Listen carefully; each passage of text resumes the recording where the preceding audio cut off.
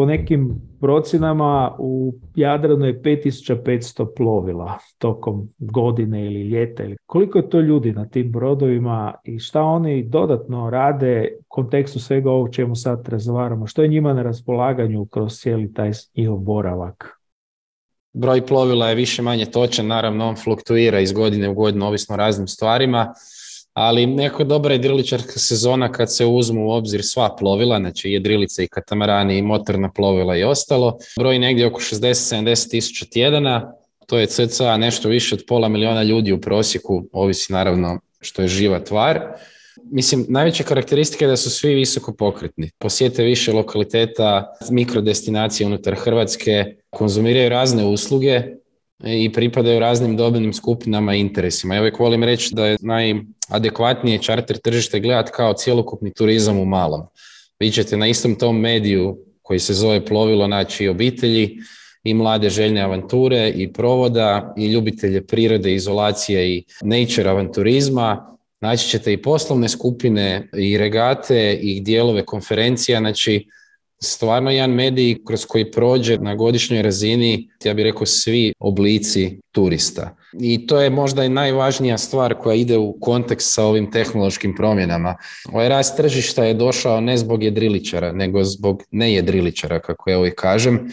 Naprosto rast ponude je sigurno nadmašio rast broja ljudi koji su odlučili vaditi dozvole i samostalno upravljati ovakvim plovilima. E sad, s obzirom da se to mijenja, onda se i postavlja pitanje zašto to toliko raste, zašto ti ljudi uopće dolaze na brod. I tu dolazimo do temeljnog šifta kojeg ćemo mi morati prihvatiti jer će nam drugi ovoga, igrači ove ligi ga, ga nametnuti sigurno i već ga rade. Ako čovjek iznajmljuje nekakvo plovilo kao pokretnu bazu da bi ostvario ono što je on naumio, znači svi ovi oblici, da, da ih sad ne ponavljam, onda cijeli narativ prodaje broda s aspekta cijene hvata samo dio tržišta.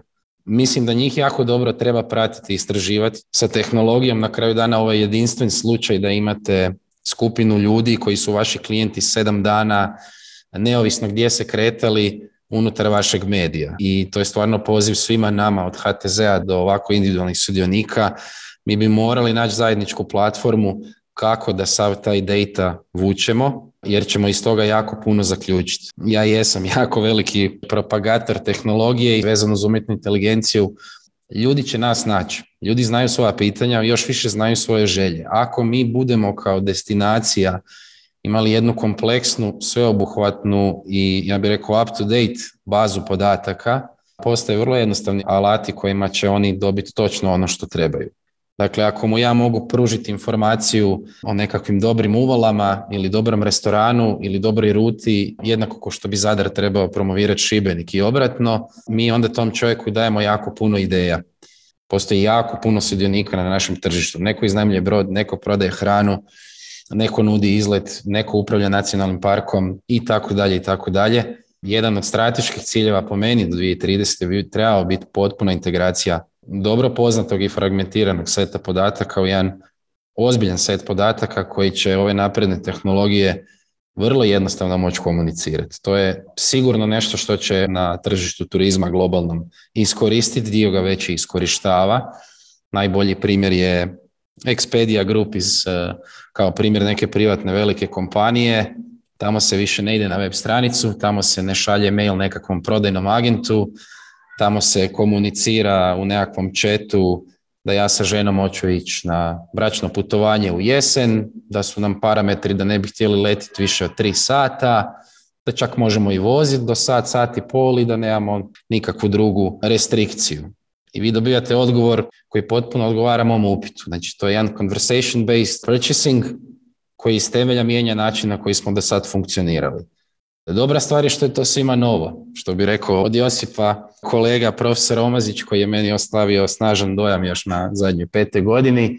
Nas samo dijeli neka određen stupanj znanja, ali tu smo. E sad, ovo je jedno novo znanje i jako kratak period nas e, dijeli po nekom znanju i mislim da je idealno da mi skočimo u to jer sigurno imamo jako kvalitetnog e, suporta i iz IT sektora i puno je rješenja da, da postoje. Kod nas, ne postoje u jako razvijenim ekonomijama. jedan možda off primjer mi je najbolji primjer bankarstva, ono je kod nas visoko digitalizirano, jako puno rješenja digitalnih postoji, mi smo čak i ja bih rekao više godina ispred nekakvog njemačkog tržišta. Ja se tu slažem s Goranom, mi trebamo biti ono što jesmo, disagreeable u znanju, u agresivnoj promociji naše neke priče i mi to sigurno možemo predvoditi ovakve procese, to uopće nema sumnje. Gorane, da li mi zaista i znamo nuditi te druge sadržaje osim sunca, mora, koliko to dobro radimo, da nismo ono ex katedra, nego da zaista to i odrađujemo? Mislim da premalo nudimo taj imamo lošiju ponudu i sadržaj u destinaciji, da premalo to komuniciramo, nudimo. Svaka destinacija nema više od tri dana sadržaja da bi ispunila puna tri dana s nekim sadržajem. Ako gledamo cijelu regiju, onda to se naravno multiplicira i onda se dovedeš u situaciju da si bio sam dana u Dalmaciji, ne, kao primjer, i ono, vidio sam 10%, moram se vratiti da bi vidio ostalih još 10 ili 50% koje sam imao informacije, čuo, preporučila, nisam stigao to u tih 7 dana uklopiti. Pa ću onda samim time dobiti motiv da se vratimo ovaj, uh, apsolutno. Pričamo o turizmu, naravno to je neka priroda, kultura, ali ljudski kapital je tu najvažnije. Tu se radi usluzi, pogotovo u kontekstu vrednosti za novac, ako damo kvalitetne ljude, kvalitetne namjenice, naravno kvalitetni smještaj i druge sadržaje unutar destinacije. Ne? Ali pitanje infrastrukture i smještaja ili tih hotela, to je pitanje novaca koji će to sam po sebi. Ako postoji potencijal za, za investicije, za rast i razvoj, privatni sektor će tu, ako vidi svoj interes, investirati. To je najmanji problem. A ako nemamo ljude, kao što vidimo sad u Hrvatskoj, to se već deset godina pričalo, bilo je pitanje vremena kad će taj balon puknut, onda nemamo kvalitetnu uslugu bar ja tako mislim. Ne? Da. Tako da pitanje je kako možemo proširiti e, tu sezonu, e, proširiti fokus na kvalitetu, jer nije tu pitanje samo potrošnje, nego vrijednosti za novac. Mi svi znamo koliko vredi 10 eura i šta vredi ti 10 eura ili 100 ili 1000 eura, pogotovo u tim većim iznosima i bez obzira što ljudi imaju novaca, mogu se to priuštiti, ne vole se osjeća prevarano u bilo kojem pogledu. Ne? Očekuju za taj iznos koji god to bio, određenu kvalitetu proizvoda i kvalitetu usluge koja mora stajati za toga. Sad, da mi možemo to napraviti, isporučiti, mislim da ne. Da pa ne samo ispuniti očekivanje, nego nadmašiti očekivanja. Da bi bili puno brži, konkurentni i da oni nas shvatili. Da to moguće, moguće. Estonija je prva ovaj, u toj digitalizaciji javne uprave. Ne samo da, da je prva, nego je Njemačka i svi drugi prate i idu tamo i, i uče od njih. Ne? Dakle, moguće je biti prvi. Da pa će ovaj Luka spomenuo nautiku zašto ne bi postavili deset stepenica iznad u nautici gdje smo stvarno lideri, ne da nas hvatu, nego da nas ne mogu uhvatiti, ne, ako želimo preskočiti. Ne. Ja to radim paralelu, recimo, evo sa željeznica. Dakle, mi godinama nismo lagali u željeznicu, svi znamo da je sad fokus na putovanja vlakom, općenito mobilnost ljudi građana pa tako i kroz turizam. Mi imamo dvije pruge od Zagreba prema Slavoniji i od Zagreba prema recimo Rijeci i Dalmaciji. Ne? Ali te pruge su stare, nije problem novi vlak novi vlak ne može voziti po staroj pruzi. I mi sad polagano, polagano kao obnavljamo prugu, ali ide mislim da 120 maksimalna brzina. Znači to su ogromni novci, infrastrukturni novci i mi sad mislim da preskočimo te stepenice odmah postavimo na 300 ili na 500 potencijal pruge da bude. Ne, mi tek stanemo 120 dok u Europi vlakovi idu 300, 350 i evo recimo jedna Španjolska ima tri privatne kompanije koje ima tri brza vlaka i koja spajaju naravno Barcelonu, Madrid, Valenciju, Sevilju. I ona to funkcionira. A mislim da bi mi morali biti puno brži i postaviti temelje puno više. Da, skromnost koja zapravo nije baš skromnost, nego je inferiornost. U pripremi smo Josip vi i ja razgovarali o repozicioniranju na kojem radi HTZ, odnosno Hrvatska turistička zajednica. Čak se radi i priprema novi slogan, pa možemo malo dobiti uvid to. Mi se trenutno nalazimo u fazi testiranja kreativnih rješenja i vizualnih i slogana zapravo evo, e, pomoću takozvanih mood boardova biti cijelo komunikacijskog koncepta kojeg ako se usvoje novi logotip i odnosno vizualni identitet i slogan se mogao već početi primjenjivati ovoga drugoj polovici ove godine. Dakle, u srži brifa je za, i zapravo komunikacije buduće je koncept e, ljepote, što znamo nekada reći nismo mi samo lijepi, međutim ako vi jeste recepirani kao lijepi, lijepa destinacija, odnosno ljepota je jedna od osnovnih karakteristika te zemlje. Dakle, ljepota, ali u svim oblicima, dakle, s naglaskom doživljaje turističke proizvode koji njima mogu biti atraktivni izvan glavne sezone kako bi se poticala turistička aktivnost izvan ljetnih mjeseci.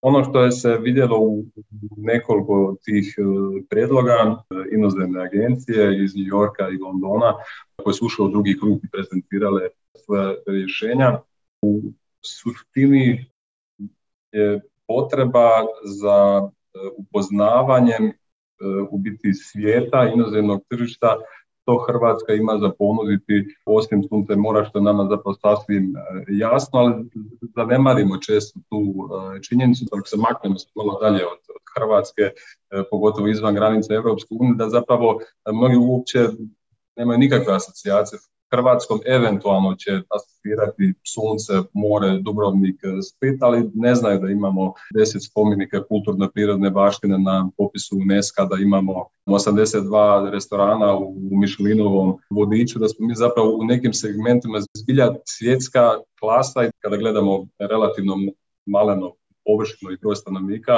da zbilja jesmo top destinacija, odnosno destinacija sa potencijalima za razvoj vrlo ekskluzivnih oblika turizma, odnosno turizma više dodane vrijednosti gdje onda ne treba više gledati ne znam koliki je broj noćenja, koliki je broj dolazaka, s obzirom da potrošnja u nekim oblicima turizma može biti više struko veća od nekakve prosječne potrošnje koje mi danas imamo ulaganjem u kvalitetu nemamo potrebu dalje poticati masovnost turističke aktivnosti, a da bi se postigli zapravo željeni ekonomski učinci u područjima, regijama, pojedinim destinacijama.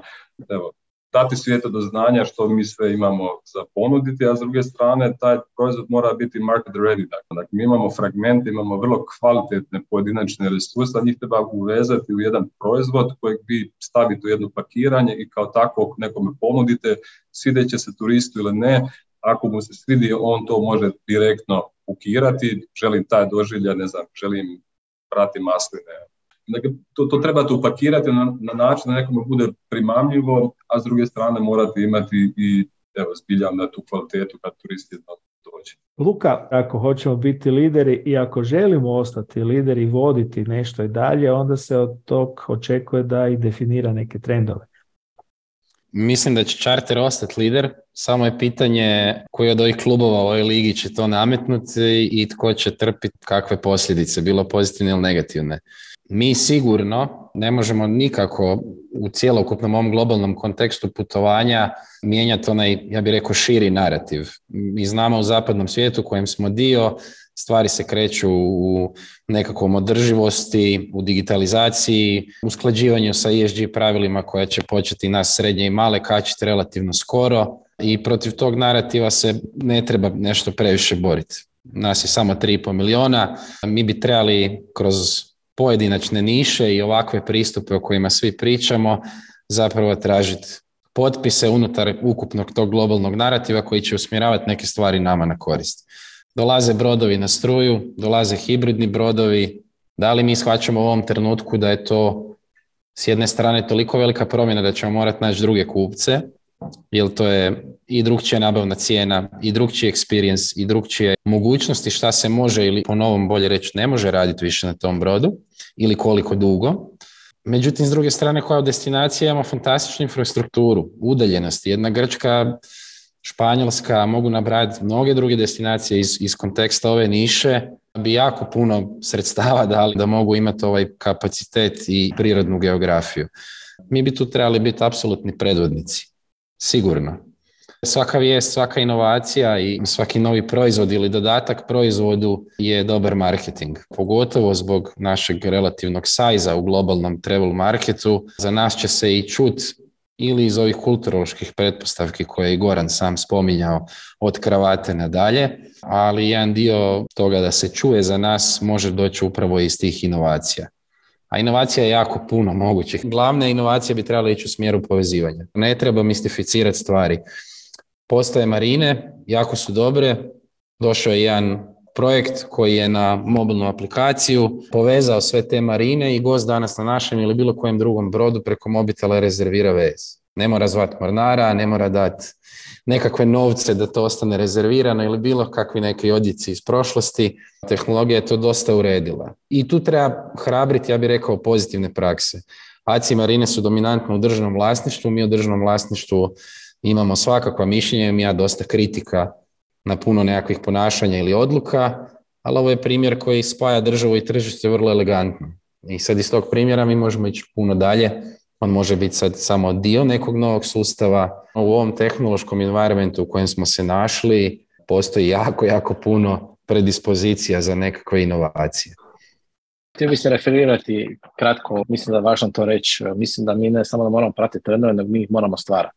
Ako smo evo na utici lideri, postavlja se logično pitanje da li smo lideri u brodogradnji. Nemam dovoljno informacija, ali mislim da nismo baš. I tu je taj problem. Ne? Da li e, ti ljudi, ta popratna cijela industrija od fizičkih stvari, proizvoda do usluga, da li smo tu lideri, imamo razvijeni veliki ekosustav koji daje suport cijelo to, ne samo na utici, nego svim vidovima turizma. Ne? Drugo, ljudi ne shvaćaju da turizam nije točka, nego kružnica u toj kružnici svi mi sudjelujemo u tom turističkom proizvodu. Od grada, od uređenja, od signalizacije, ceste, benzinske, do nautike, smještaja, agencija, svih nas. Dakle, mora biti ta sinergija i po meni neko se mora baviti strateškim razvojem. To ne može raditi privatni sektor, to mora raditi turističke zajednice u ovom nekakvom demo konceptu koji se evo sad čak i transformira i onda bi morala povezivati sve dionike u tom razvoju, promociji, komunikaciji, planiranju, sasvim je normalno da bi trebalo biti normalno da se jedan pod mjesečno destinacija nađe sa glavnim igračima u turizmu i raspravljaju, planiraju, dogovaraju, rade follow-up svakog sajma, inputa i tako dalje. To, je, to su posljednji procesi kojima nama nedostaje. Ne? Pogledajte samo web stranicu Toskane. Toskana je dva puta površino veća nego cijela Slavonija. Ima strašno jake brendove kao što je Pisa, Firenca i usprkos tome svi su pod jednom kapom. Pod kapom visitaskana.com gdje ima preko tisuću priča motiva dolaska, zašto segmentirano, za koji motiv, za koji profil gosti i tako dalje.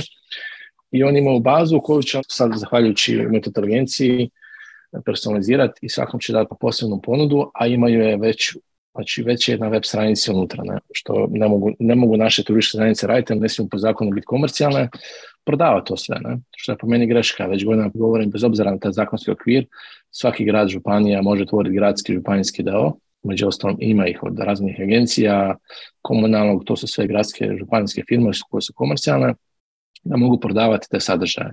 Jer u konačnici, ako gledamo jednu turističku destinaciju, bilo koji teze, bilo gdje, koliko novaca, vremena, truda se ulaže u promociju. Od sajmova, brošura, Facebooka, društvenih mreža, weba i sve se vuče kroz www.destinacija.hr. Ti se dođeš na tu web stranicu koja bi trebala biti legit, puna informacija i sve i ti tamo nemaš ništa. I kad već ono imaš ona AIDA model u marketingu, attention, interest, desire, action. Znači trošimo puno vremena, novac da bi se u toj šumi našli mi kao destinacija. Dobili smo attention, dobili smo interest, dobili smo desire i sad kad čovjek želi kupiti, dođe na web stranicu ne može kupiti.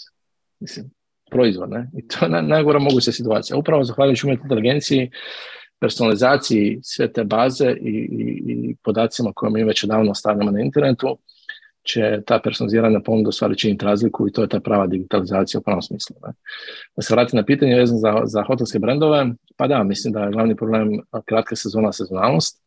Problem je pravna nesigurnost, dakle mi kao država namo tu pravnu sigurnost, dakle jednog stranog investitora teško može opravdati eventualno svoje investicije na sudu i često mijenjamo zakone pravila igre, ne? što nijednom stranom investitoru nije dobro i mislim da to glavni razlog zašto mi nemamo više stranih brendova, apsolutno nije razlog privatni smještaj. E sad kako to sve ispraviti, to je sad malo širi problem ovaj. i pitanje je kojih investitora, ne?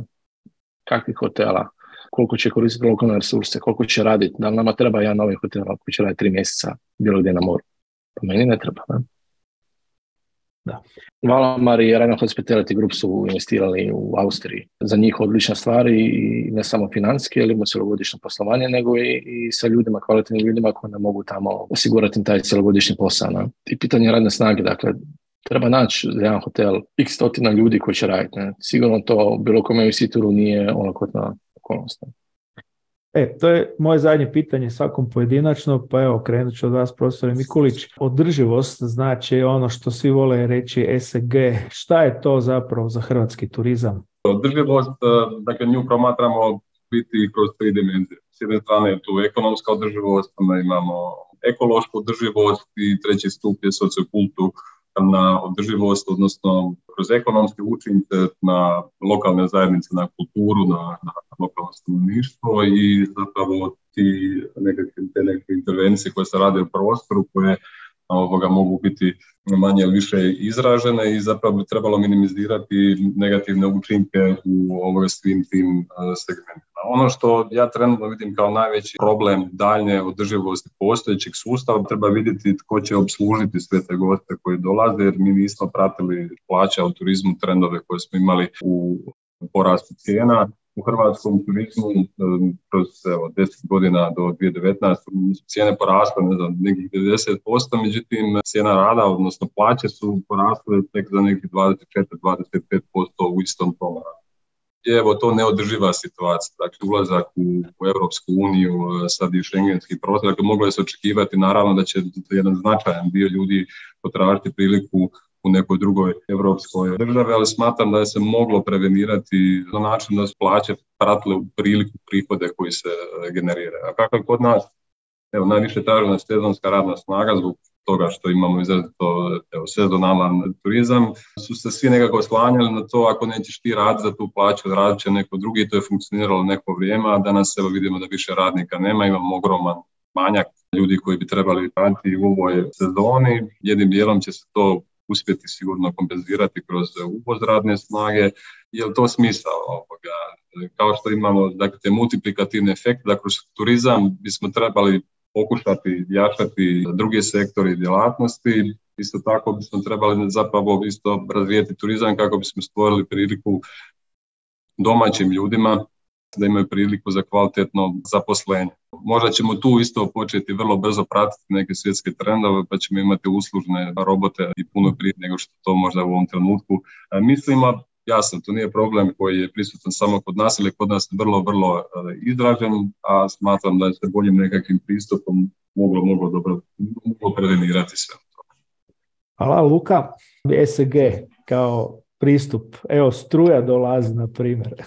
Mislim, imam jednu vrlo kratku priču. Mi svake godine idemo u to spomenuto brodogradilište i sad prošle godine na tom godišnjem uh, dealers meetingu predstavlja se prvi nekakav koncept, vizija budućnosti, potpuno električni, u ovom slučaju jedan katamaran, kao nekakav svjetljenik, model i oni su dosta komunicirali koliko ima autonomije to plovilo, zašto je bolje, koliko je u skladu sa ovim svim pravilima koja ili već jesu tu ili su u vrlo brzom dolasku. Međutim, odjek većine ljudi u auditoriju je bio dosta negativan, jer se spominjala dosta mala autonomija plovila. I sad jako je zanimljivo vidjeti te ljude iz razvijenih ekonomija i velikih poduzeća. Oni su ove godine se vratili s istom tom pričom, rekli mi smo uzeli u obzir sve što ste rekli i što smo vas pitali i tako dalje i izbacili su hibridni model koji ga vrlo uspješno rješava potrebe za strujom, klimom, mnogim stvarima koje su jednako tako trošile energiju putem motora s unutarnjim izgaranjem na jednom manjem skelu, ali ipak na tragu da se nešto napravi po tom pitanju. I sljedeće godine su im svi modeli koje proizvode dostupni toj tehnologiji. First it moves slow, then it goes really, really fast. Nitko od nas ne može promijeniti flotu u godini dvije. Treba pretpostaviti da će doći godine ili zbog zakonodavstva ili zbog zahtjeva klijenata ili zbog nekih naoko perifernih stvari, recimo da Volvo obustavi proizvodnju motora na unutarnje izgaranje i, i linearno tako potrefi cijelo tržište, neki od tih faktora ili svi u relativno kratkom roku će biti važeći. Dakle, ajmo reći da je nama još uvijek dopušteno sporije se kretati, ali to sporije kretanje sigurno nije stajanje na mjestu i treba jako dobro planirati te stvari. I neke stvari treba demistificirati. Znači, ajmo napraviti da svugdje gdje brod može pristati u ovoj državi postoji set kontejnera za sortiranje smeća i da postoji njihov planirani odvoz, da ne kažem planski otkup, možda da se to veže u neku danju industriju. Da marine pod mus, no-brainer sa velikim inspekcijama imaju organizirana mjesta za crne tankove, da se možda stimulira dio sredstava da su marine nekakvi hubovi proizvodnje zelene energije, električne i druge vrste. Dakle, nisu to tako sad ja bih rekao, nezamislive stvari i mislim da treba krenuti od jednostavnih koraka za koje ja imam osjećaj da bi jedan dio nas volio predstaviti kao da već postoje, a drugi dio kao da nisu bitni. A upravo ja mislim u tome sva razlika. Jel? Korane. Mi pričamo o nekakvoj higijeni, basic koracima koje još nismo posložili, a kamoli ovaj, da gledamo naprijed kako biti brži, bolji, da mi postavimo te trendove. I to meni stvari najviše smeta u Hrvatskoj što se nabavimo dovoljno rastom i razvojem ili tim poslovnim procesima. Da kažem, jedno je politika, a jedno je rast i razvoj. Ne? Imamo apsolutno sve znanje, potencijale, resurse, živimo u Europi, ono, nismo sad, ne znam, nekakva država koja nije to razini infrastrukture i, i, i svijesti općenito, ne? I što padamo ti nekim osnovnim stvarima, ne? Znamo već davno da ide svijet prema održivosti, prema, prema struji. Ja sam prije 9 godina pisao radio intervju sa Mate Rimcom, pa sam postavio hipotezu, ok, ako čovjek radi električne aute, zašto nema električne brodove?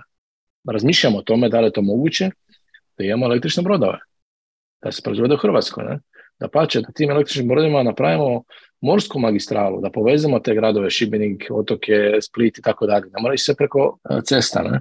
A mi smo prvi trebali biti prevodnici u već postaviti x, y tisuća punjača za električna vozila, jer znamo da su to ljudi koji su puno veće platežne moći. Ako nemamo električni punjač, taj profil gosta neće ni doći kod nas, ne može napuniti, tako ne?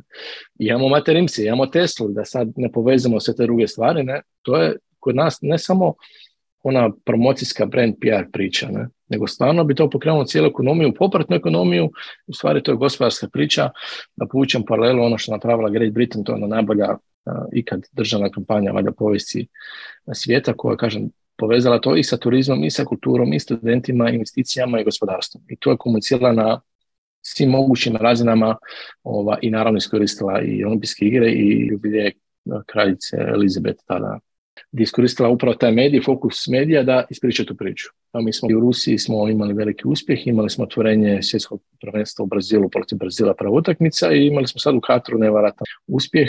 Dakle, sport je ambasador. Ljudi su nenormalno googlali Croatia na Google, koje su informacije našli. Znači imali smo kampanju koju ne možeš platiti financijski, ili tako? Koje su one informacije našli u Hrvatskoj? Našli su ono što smo mi servirali, to je što nismo komunicirali sa pitanjem što su našli. Ne? Svi smo u istom, na istom tržištu u Europi i svijetu, globalno selo, pogotovo u Europi, svi se bore za iste investitore, za iste goste i one koji će biti brži, sposobniji, sigurniji, efikasniji, on će prevući te goste i taj kapital. U konačnici znali smo percepciju Njemačke dok je bila Merkelica tamo davno po navodnicima ratove vode za investitore gospodarstva, a ne za nekakve političke ideologije i ne znam šta. Ne. I tu ko je brži, sposobniji, ko da prostor kapitalu da, ono, da raste, razvija se, da ono, floriš, to je super engleska riječ, taj će preući, ali strani investitor od njemu isto da to Hrvatska, Slovenija, Austrija, on će gledati neke druge benefite u tome.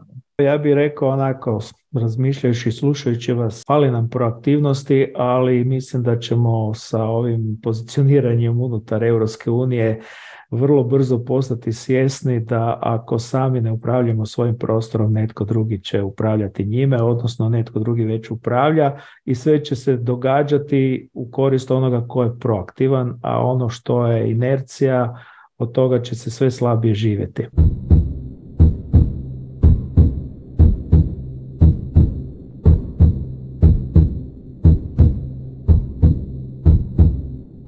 U ritmu života FIMA